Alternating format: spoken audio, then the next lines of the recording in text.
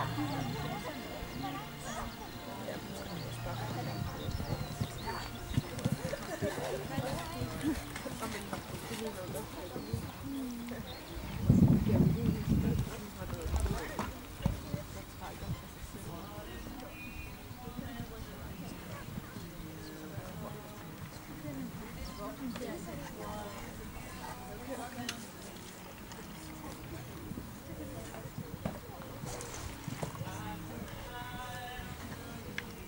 Det havde været noget bedre, hun lavede ret til det.